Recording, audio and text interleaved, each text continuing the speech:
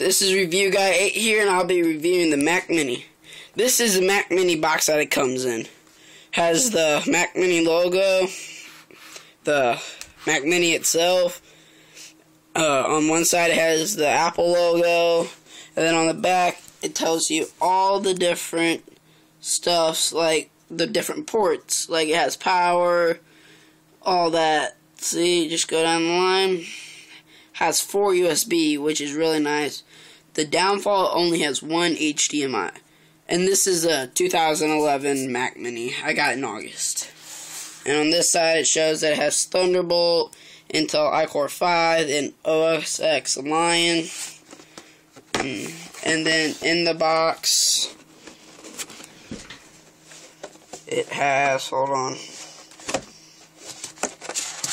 nothing really because I already have it set up.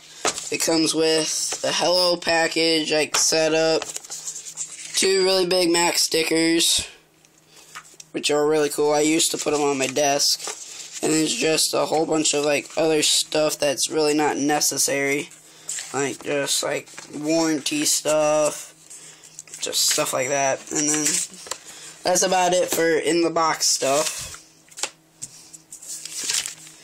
over on my Mac Mini, right here, I have three eight, uh, eight USB already plugged in. One goes to my uh, Mobee Magic Charger for my ma wireless Magic Mouse. I already have a review on that. And then also for my wireless charger for my keyboard, which I think is really cool too. Sorry about the poor video quality. I'm trying to get it. And then also for my iPad. That's where the other one is, right there. So I got it hooked up HDMI to my big screen computer monitor. It's like a 21 inch. It's really nice HD. And Mac Mini is really good actually. 500 gigabytes in it. You can get more info online about it. I think it's a great purchase for especially the price. I got mine for I think six hundred dollars, and for another hundred dollars you can upgrade to an iCore seven, which is really neat. So check it out. Go to apple.com. Um, I use this just for development. Like I make apps and stuff. It's really cool. So go check it out.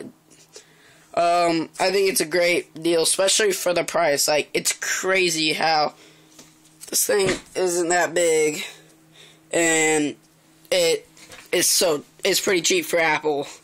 I it's cheaper than my iPad. My iPad right here, I paid like seven hundred dollars. That right there is like six, but you can get it cheaper. It depends. On, I just got a whole bunch of cool things in it, but it's really cool. On the Mac Mini, since it's no, it's just itself, no like monitor or anything. I hooked it up to my 21 inch actually PC monitor, which actually is a great resolution. Um, that's my YouTube logo review guy there. It's actually really neat. Check my uh, channel out, subscribe. But since you hook it up HDMI and then you hook it up to the bottom of your monitor, I actually usually connect it like when I'm working on my apps and stuff. I'll connect it to my big screen monitor right there and that's my Xbox TV. So, but that I got for Hanukkah. It's nice, 37 inch TV, great HD TV that I used for my Mac Mini. I can plug it in anywhere. So right there, it's perfect. It's set up like a normal Mac. So you can see my bar down there. Go through them all. Um, later I'll I could show you if you comment enough uh, how to get like the different images on like your icons. And then uh, maybe later I'll show you how I make my movies like how I get my intro which is really cool. If, have you checked it out yet?